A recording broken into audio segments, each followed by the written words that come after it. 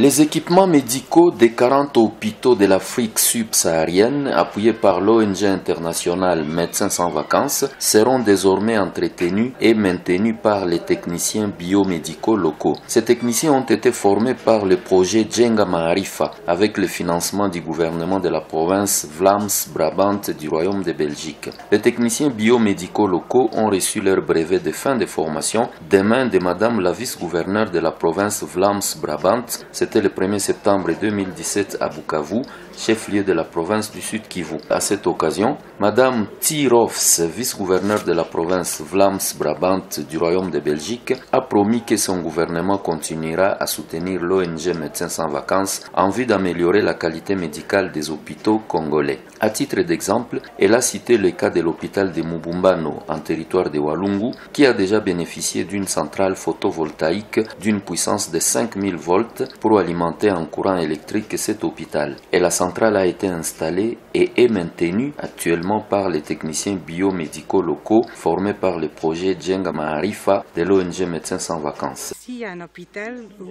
les étudiants qui ont déjà formé ou qui ont déjà suivi plusieurs modules installé des panneaux solaires et ils ont fait d'une manière euh, fantastique. Donc je suis très enthousiaste. Euh, je vais dire hein, à, mes, à, mes, habitants qu'il y a toujours des Congolais euh, bien entreprenants et qu'il y a bien sûr une future qui l'attend. En réponse, le médecin directeur de l'hôpital de Mubumbano, Dr Georges Rudaba, a montré l'importance et l'impact positif du projet Djenga Maharifa pour les hôpitaux de la République démocratique du Congo. Mais ça va un impact. Cela va impacter dans la population en quel sens? Les prix, les coûts vont baisser.